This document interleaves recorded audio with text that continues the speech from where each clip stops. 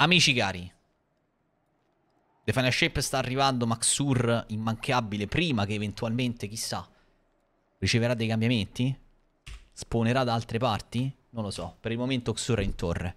Comunque, solito posto, all'hangar. Dove lo trovate? Affacciato da anni ormai. Però, però, però, come sempre, in descrizione vi ricordo che ci sono due link molto importanti. Il primo, Instant Gaming Sconti, Ghost of Tsushima, Manor Lords, carte per la PlayStation, DLC di Destiny. Prezzo scontato.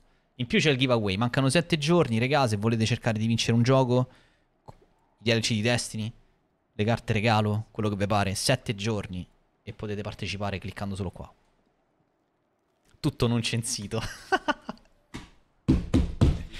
Questa settimana Xur ci regala il fantastico lente di Prometeo che ormai è un grande classico, l'abbiamo imparato a conoscere negli anni, è una di quelle armi che occupa ormai tantissimo spazio nel nostro deposito, a parte quella brevissima parentesi in trials anni fa e dopo che ha ricevuto il rework del Solare 3.0 con eh, la bruciatura eccetera eccetera bla bla bla insomma sapete già come funziona è un'arma di quelle che fa il suo ma ce ne sono altre che lo fanno meglio soprattutto primarie, visto che questa è un'energetica. La promessa di Shinobu. Migliora la granata nefasta e guadagni una granata nefasta in più. La granata nefasta si riempie la sua carica quando danneggia i nemici, quindi è tutto incentrato sulla granata. E la nefasta non è che sia così utilizzata, fa anche un danno un po' me. Il roll è anche discreto, 15-12-21 su disciplina, quindi in teoria è anche un roll che si incastra bene.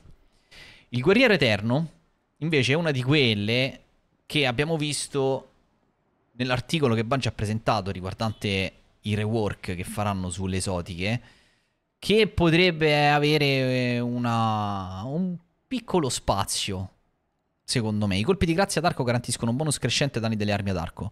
Ottieni una protezione aggiuntiva quando attivi i puni della distruzione, ottieni bonus ai danni di livello più elevato per le armi ad arco quando puni della distruzione termina. Questa roba qui verrà cambiata e si attiverà con le abilità ad arco e non più con la super ad arco. Quindi raggiungere il per 4 per le armi sarà più semplice e potrebbe essere un bel boost. Quindi tenetela a mente che magari il roll fa schifo però. Però se non ce l'avete intanto mettetelo da parte. Il teschio del terribile Ankara invece rimarrà uguale, il roll è discreto. Discreto. E le uccisioni con bomba nova forniscono energia dalla super. Massimo fino al 50%, come sapete, perché tutte queste esotiche qua arrivano fino al 50% della super. C'è il falco lunare con occhio del ciclone, quindi tutti i PvPari possono essere contenti con impugnatura di polimeri, caricatori lega e occhio del ciclone. Eh? Sapete meglio di me che questo è il roll da cercare se cercate un'arma da duello. Se vi piace duellare in crogiolo.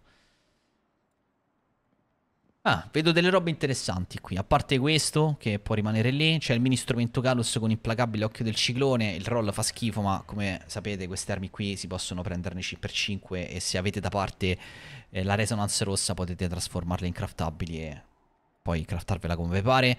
Questa, così come Nikelos, con questo roll è orribile, ma potete fare lo stesso lavoro.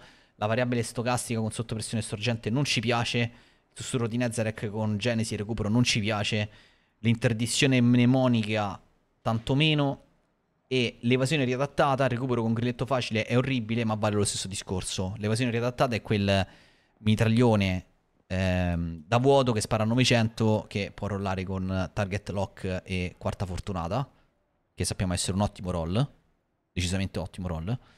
Se volete potete craftarvela da questo. Poi, armature sono con la strega come sempre, sembrano non essere buggate ci sono delle braccia con 20 di disciplina, il petto con 26 di intelletto, il casco orribile, le gambe tanto meno. Quindi vediamo brevemente anche gli altri PG. Con il cacciatore...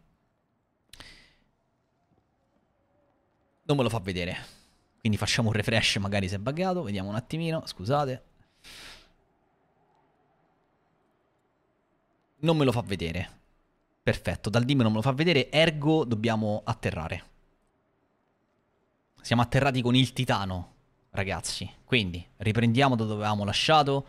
braccia con forza 25, recupero 19, discrete, il petto no, il casco con 30 di recupero, 16 di forza, 12 di disciplina, è un buon casco, 68. Se avete i pezzi dove recuperate la resilienza alta, questa è una buona base per una tripla 100, perché no? Mentre le gambe invece non ci piacciono. Siamo riatterrati. Cacciatore, ragazzi. Ci sono delle braccia... Eh, guarda qua, pure queste... A parte l'intelletto, 14... No, non è vero, pensavo fosse disciplina. Lasciate stare, le braccia lasciate dove sono. Eh, il petto no. Il casco, buono. Casco buono, mi sa che me lo prendo pure.